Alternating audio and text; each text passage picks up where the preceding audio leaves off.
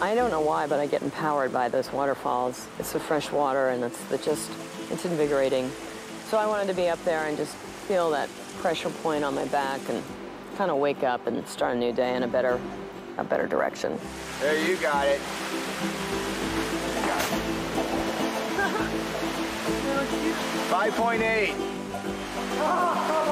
Nobody has ever complained about going to the waterfall because that's one place where we go, jump in the water, it's nice and cold, it cools us off and totally refreshes us. For me, it rejuvenates everything inside of me and I'm ready to go again after I get out of there.